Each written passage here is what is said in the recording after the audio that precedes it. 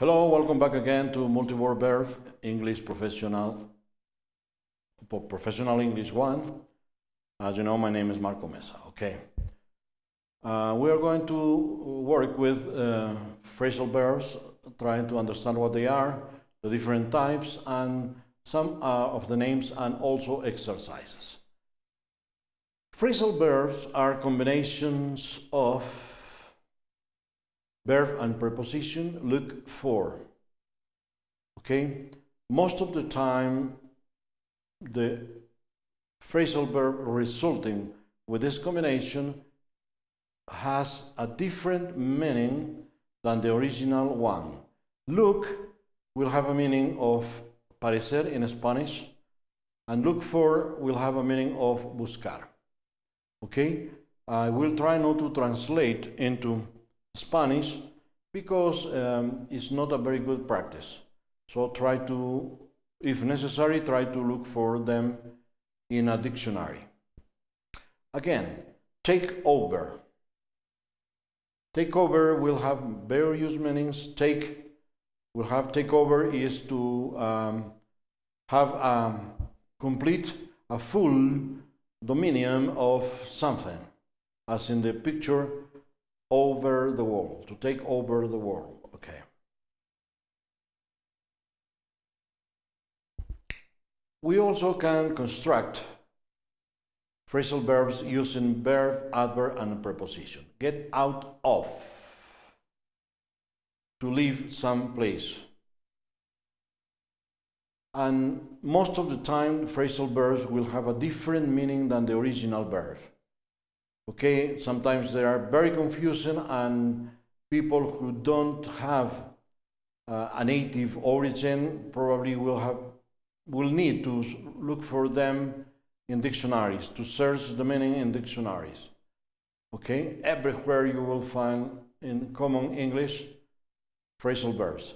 And if you cannot, try to guess the meaning using the context of the text around them. Sometimes the context will give us the meaning, will help us to guess the meaning. Um, and most of the time, unfortunately, or luckily, it depends of the optic, it is also necessary to look for the meaning in a dictionary. If no dictionary at hand, you can use internet or whatever possible to uh, understand the meaning of um, phrasal verbs. Sometimes they are called compound verbs. They are also called verb adverb combinations, verb particle constructions, two-part word verbs, or three-part word verbs. In some cases, they say multi-part word verbs. When are they used? Phrasal verbs are normally used in informal speech. Some writing pieces that are used for common purposes, newspapers, magazines, um, informal magazines, common magazines, and um, you can find lots of multi-word verbs in newspapers. Okay? Also, when some everyday things are used in academic writing. Okay, not very often, and sometimes they are quoted with um, exclamation, uh, sorry, uh, quotation marks. Some examples are run across, for example, Mrs. John ran across the road not to miss her bus. Okay? Another example is going to be look after. Most female mammals look after their cubs for at least a year. That means that the mother is watching carefully, is uh, feeding and whatever is needed to keep the cubs alive. That, that is the meaning of look after. The patient passed away after a long agony. Okay, passed away means to cease living okay, to finish living. Or rioters will run away when the police will arrive. Run away means escape. Again, run across, has Jones run across the football field, but in um, interrogative context, remember, we use um, the auxiliary has before the subject in present perfect sentences. Is looking after cubs one of the instinctive actions mammals have? Again, we have looking after, but in the context of interrogative sentence. How long ago did the former president pass away? Again, we have an interrogative sentence with a question word, how long ago, and pass away as the multi-word verb or phrasal verb. After breaking jail, do they plan running away to an island in the Caribbean Sea? Actually, we have two. Breaking jail means escaping from jail. Running away means also escaping. Let's do some exercises, not so so calmly. Try to be fast, please. Can you? And we need to choose from four options. Point on, point to, point for, point away. The correct answer is point two, and that means uh, indicate who is or indicate by using your finger or your voice or whatever needed to identify something. Hank has been his wife for years. Cheating on, cheating at, cheating for, cheating in. It's not a very good verb in moral meaning, but the correct form is cheating on. And you know what is the meaning? If you don't, please try to look for it in a dictionary. I am not going to translate it into Spanish. I'm, I'm not going to translate the meaning of the verbs into Spanish in this class. The police chief could not solve the case, so he wanted to call off, call out, call away, call in. Or off means or finish or out. Call at has no meaning, call away also no meaning, and the answer is call in. The guard will my ID card to me. Okay, hand in this case is not a part of the body. Hand is a verb that indicates something is given by someone. Okay, hand off does not have a meaning. Hand back means return. Hand for does not have a clear meaning, and hand with doesn't also have a clear meaning. So the answer is hand back. The guard will hand my ID card back to me to return it to me. Another example is I am, and we need to choose from looking in, looking at, looking to, looking on. Her and telling her that I love her. Obviously, our answer is B because that means that you are directing your eyes into hers and telling her that you love her. In number six, she is a meeting with Jimmy and his lawyer, setting up, setting on, setting to, setting for. Setting on, setting to, setting for will have no coherence in this case, and the answer is setting up. Do not worry about the broken window. I will get around at, get on at, get with to, no, get around to. Okay, uh, in this case, the answer is get around to, that means uh, in some time in the future it is going to be solved or somebody will have the time to solve it. That is the meaning of get around to. I will look on, no, look up, probably, look at, also probably, look to. But look at means just to see or watch, but look up has the meaning of search or investigate. The general will show me a satellite photo if I points out no way because I is the first person singular. Point out could be point in, no, point on, neither. So the answer is B. When I see Melanie, I always, I is in this case the simple form, run at, not really, run to is uh, to run in some direction, run over is to finish having something and run with to her and gave her a hug is another possibility.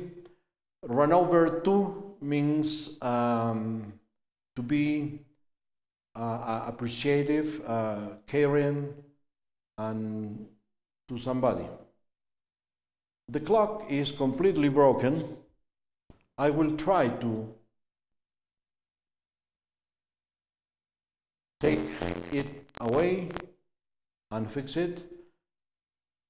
Takes no, takes no way, and take it apart. That is the correct. Take it apart means that disintegrate it, not really disintegrate, but to um, take the pieces uh, apart.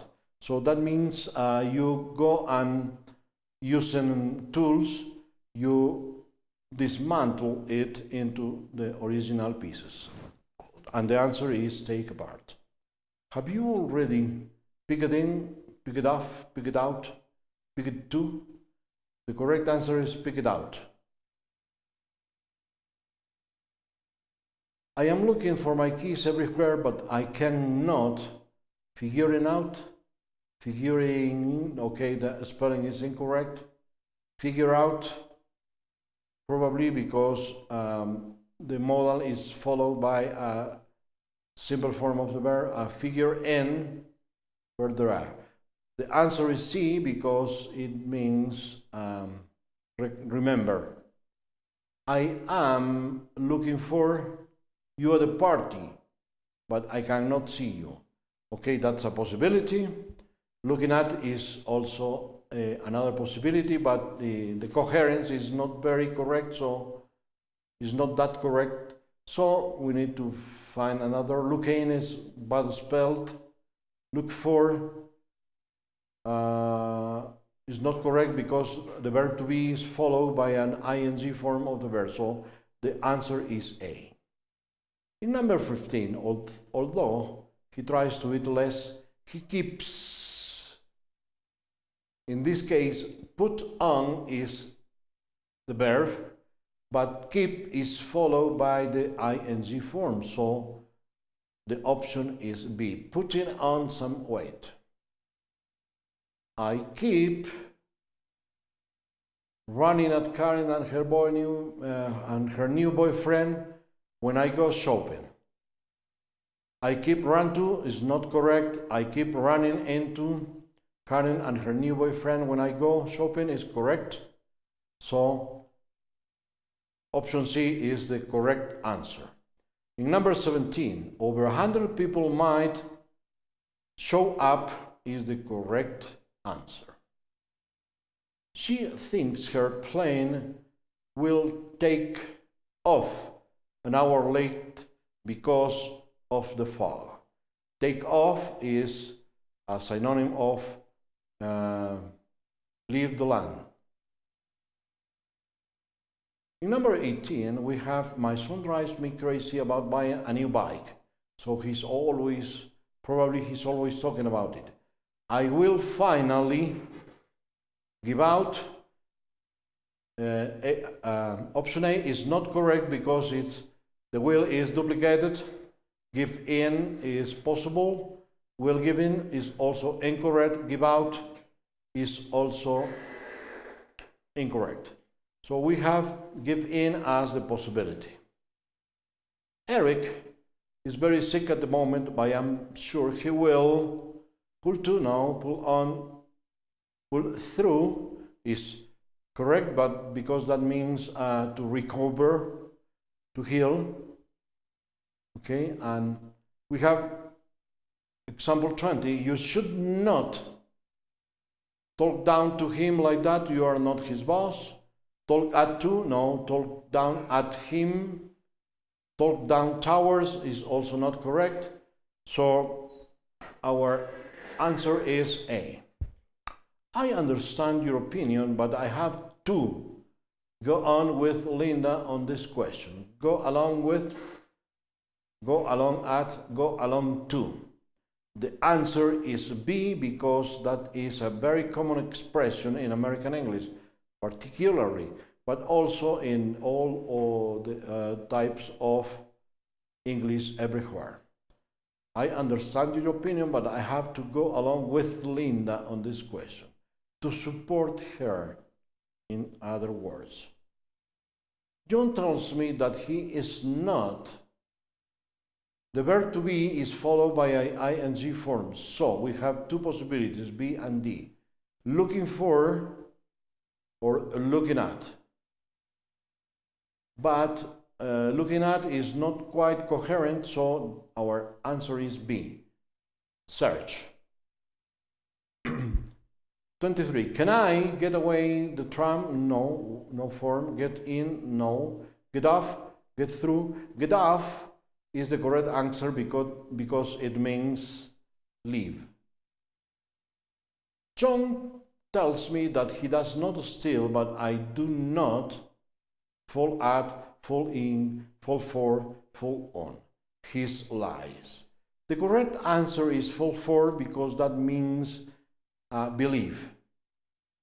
Can I pay for, pay in, pay on, pay at the drinks with a credit card? Okay, the correct answer and very obvious is pay for. Okay, so we have done some exercises about uh, phrasal verbs. Thank you again, and I hope we are going to meet next time.